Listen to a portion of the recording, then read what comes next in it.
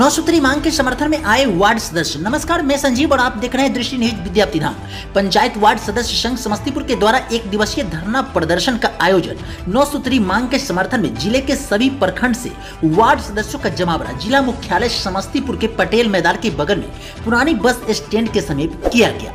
वहीं अपनी मांगों को लेकर एकजुट होकर जिला पंचायत राज अधिकारी के साथ साथ डीएम कार्यालय में भी एक ज्ञापन को सौंपा वहीं विद्यार्थी नगर प्रखंड के साहिट पंचायत से उप मुखिया निशांत कुमार ने कहा कि सरकार की दोहरी नीति की वजह से वार्ड सदस्यों के अधिकार को कटौती की जा रही है, जिसके खिलाफ हम सभी बिहार के सभी पंचायत वार्ड सदस्य के द्वारा राज्यव्यापी आंदोलन की जा रही है। और जब तक हमारी मांग पूरी नहीं होगी, तब तक यह आंदोलन लगातार जारी रहेगा। वहीं ज़िले के विद्यार्थी प्रखंड के साहिट पंचायत के वर्तमान वार्ड सदस्य सह पूर्व उप मुखिया धर्मराज सिंह का क्या कहना? है जरा सुने हमारे साथ ऑनलाइन पर जुड़ रहे हैं धर्मराज सिंह? धर्मराज सिंह जी जुड़ चुके हैं। क्या कहेंगे धर्मराज सिंह कल के जो आंदोलन आप लोग किए एक दिवसीय धरना प्रदर्शन किए प्रखंड हाँ, मांग के समर्थन।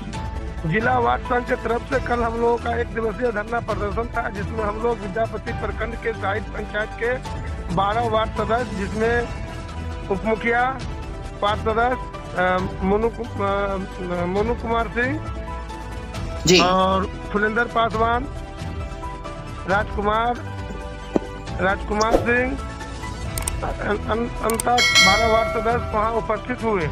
जी। उसमें हम लोगों को संघ की तरफ़ से वहाँ एक धरना प्रदर्शन किए। धरना प्रदर्शन में हमको नौ सूत्री मांग था। जी। जिसमें नौ सूत्री मांग को लेकर हम लोग डीएम साहब के पास पत्र सौंपे। जी। और उसके बाद सभी संघ के तरफ़ से एक घंटे हम लोग धरना प्रदर्शन पर रहे क्या लगता है इस मांग को लेकर जिस मांग को लेकर आप पहले प्रखंड कार्यालय पे इससे पहले भी पाँच सूत्री मांग को लेकर धरना प्रदर्शन और ज्ञापन पंचायती राज अधिकारी को भी सौंप चुके हैं? इससे पहले हम प्रखंड में भी दिए थे।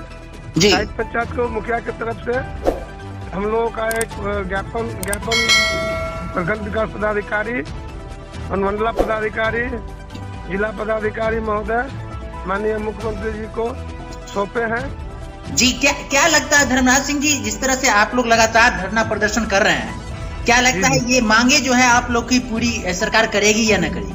हम लोगों का जनून मांग है सरकार पूरी करेगी नहीं पूरी करेगी तो हम लोग आंदोलन पर रहेंगे। हम लोग जो है तो पंचायत में जो है तो हम लोग वार्ड सदस्य हड़ताल पर रहेंगे। जी।